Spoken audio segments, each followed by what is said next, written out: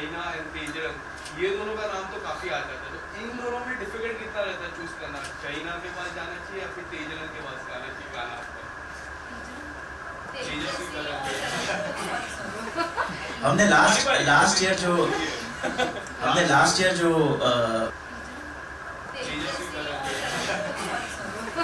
हमने लास्ट आपने जो बात इनसे पूछी है कि चूज़ करना कितना डिफ़िकल्ट है शाहिना शाहीना में या तेजरन में I think they look beautiful together as a couple Karan and Tejasswi and उनका जो गाना पहले आया अ, बारिश जो लास्ट ईयर आया वो दोनों बहुत ही ज़्यादा खूबसूरत लगे।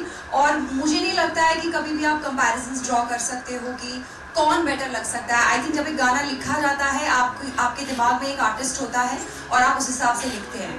तो शायद इस बार हमें अपॉर्चुनिटी मिली बट आई एम श्योर अगर करण और तेजस्वी ये गाना करते तो दो इक्वली बहुत अच्छा करते। इनफैक्ट हो सकता है हमसे बेटर करते। तो अब we are thankful to you कि आपने हमें चुना। थैंक यू शहीद का जो पहला गाना एक अच्छा गाना आपके पास अगर अच्छा प्रोडक्ट है ना आप उस पर चाहे हम कम परफॉर्म करें या बहुत अच्छा परफॉर्म करें जो जान होती है ना एक प्रोडक्ट की वो है जब वो गाना लिखा जाता है और कंपोज किया जाता है। So I want to give it to them तो इट इज़ देम जब वो हमारे पास एक प्रोडक्ट लाते हैं उसके बाद we work on it and around it so सबसे पहले जिन्होंने गाना लिखा है और कंपोज किया है सबसे बड़ा क्रेडिट अगर किसी को जाता है तो वो इनको जाता है।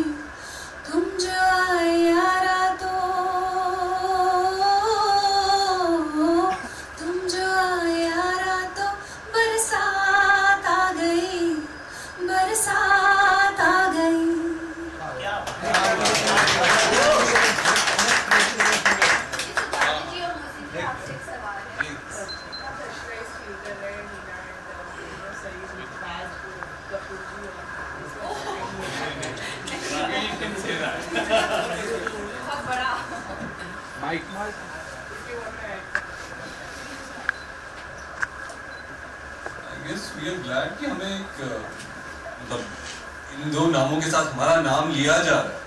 वो ही बहुत बड़ी बात है। उनके साथ कंपैरिजन बहुत दूर की बात है। I think for us of course we are a little nervous क्योंकि ये वाली के साथ जैसे हमने कहा कि हमारा दूसरा एसोसिएशन है बारिश का तो पहला इतना बड़ा सुपर डुपर हिट रह चुका है तो थोड़ा सा नर्वसनेस है। Fingers are cross that this song also does well और आई थिंक वो कहते हैं ना यूनिवर्स आपको साइन दे रहा है कि सब कुछ बहुत अच्छा हो रहा है। कल से मानसून शुरू हो गए, बारिश शुरू हो गई, आज हमारा गाना रिलीज़ हो गया।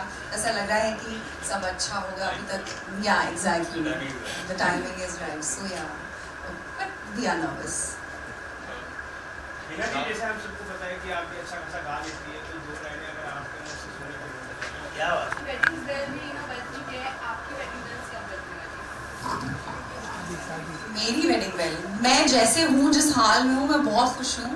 और मुझे लगता है कि जितने भी आसपास में लोग देखती हूँ जिनकी शादियाँ हुई हैं वो खुश हैं, लेकिन कभी कभी परेशान भी रहते हैं तो इस बेटर मैं बिना शादी के खुश हूँ। Thank you very much